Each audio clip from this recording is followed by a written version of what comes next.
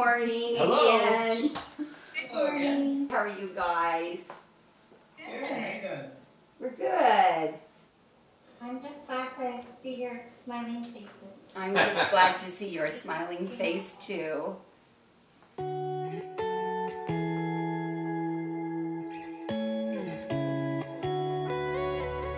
When we started to kind of wonder was maybe around 2011. Stacey would have been 35 years old and just had her first baby. And they lived in Florida, so we didn't see them all the time. And she would say to us that she felt like um, when you're having a baby that it takes away some of your brain cells. You know, she'd heard that. And she says, I actually kind of feel that way. And so we heard her mention that a time or two. And, you know, you just think, well, she's busy. She's got a little baby that she's also managing her public relations business that she ran pretty much herself. One of the major things was we had a new house built um, in the area we live now, and so Stacey had been on a routine in her previous house, so it was almost like second nature, and so that sort of masked uh, some of the issues she was having with memory because if it's a built routine, uh, you can sort of perform that. But if you put somebody in a new place with a new place where the store is, a new place for the kids' school, we found very quickly like there's something not adding up here. Even with um, the navigation system in the car, couldn't find her way back home. organizing things was difficult. Losing things, losing your way in her neighborhood, and um, going to familiar places that she knew. Even she was starting to get lost there. She really struggled with computer related functions that she'd always just done so easily.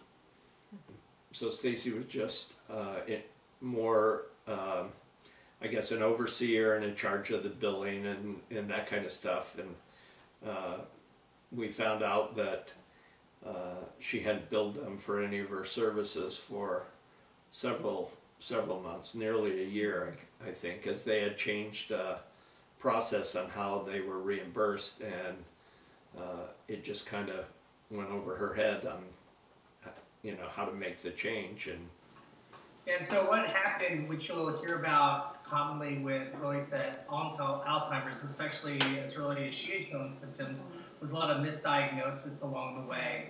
like we've talked before that when somebody's so young they don't really think to do anything more than think it might be anxiety or the fact that you've had a baby or that you're busy or you know stressed maybe a little bit. Jim you think so? Yeah and they you know at one point i think they talked a little bit about sleep apnea maybe being a issue but um, mostly wrote it off to uh, being a brand new mom. She had had several other visits to doctors and psychologists and psychiatrists and everyone just wanted to medicate for anxiety Uh, and then we went back for a couple more visits, and that's when we got uh, the diagnosis. they actually called us on their uh, drive back from Jacksonville to uh, to home. They had kind of talked to us uh, that um, you know dementia might be part of that diagnosis beforehand. Um, so, and that was a tough couple of weeks, and then uh, then um, you know they started working on uh, finding somebody, a caregiver, to help with the uh, the kids and getting them uh, to and from school and that kind of stuff.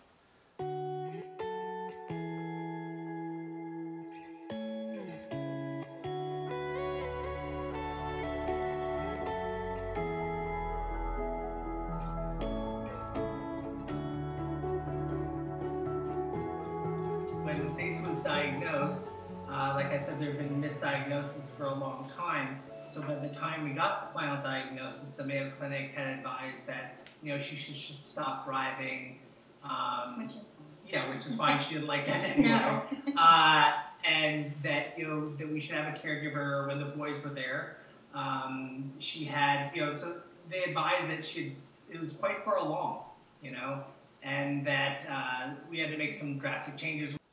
My daughter and their family they live close to Disney World. They at one point had annual passes and and they used it, and now um, they don't go as often because it's it's my son-in-law and the two little kids and my daughter and he's trying to keep track of all three of them. Um, you know getting in line if one needs to get out of line for whatever reason all of them get out of the line to go do and so they're it's harder to do those things that you think about as just being normal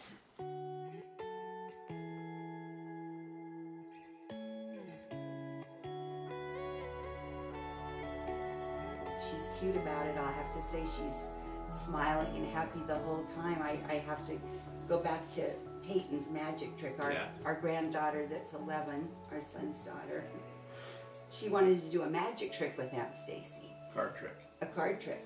And the trick involved pick a card and now remember what card that is and then put it back in the deck. And I have I have it on video because it's the cutest little thing. She says, you know, does her little magic trick and then she says, All right, was this your card? And Stacey's reaction was, I don't know. I I've got this noggin, she says. and we were all chuckling, thinking, you know, isn't it cute that she's not upset about it? she laughed and everybody laughed Yeah.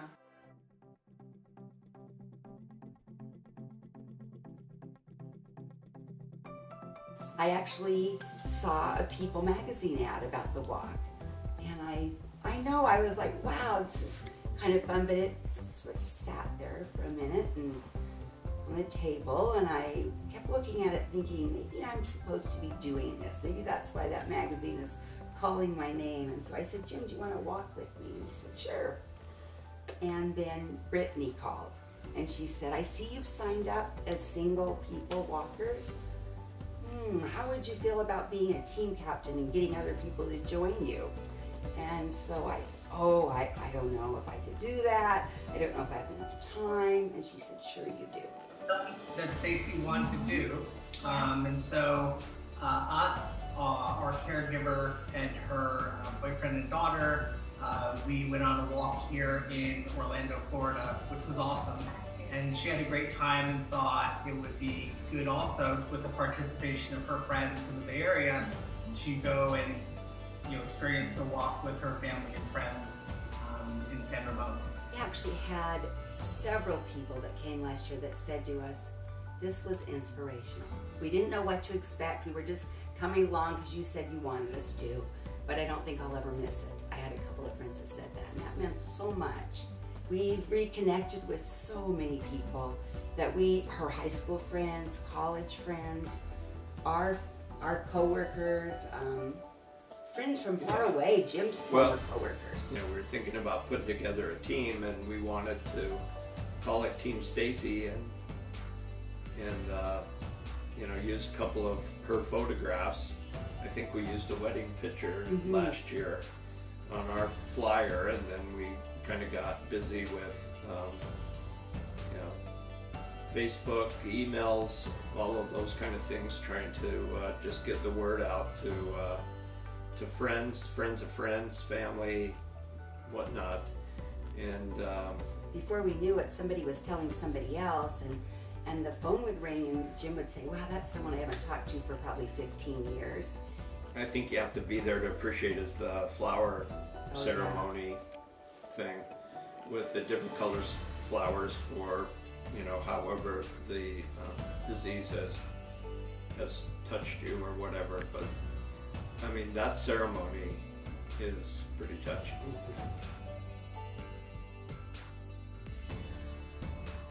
you know, we got to get a handle on this or change the trajectory of the disease because it'll it'll touch so many if you if you can't.